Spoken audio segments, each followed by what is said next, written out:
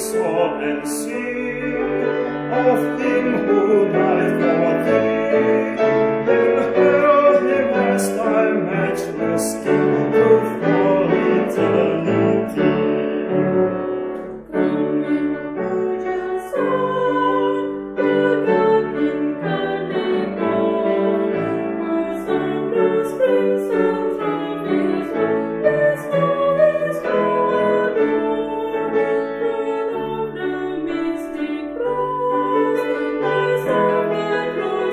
Crowning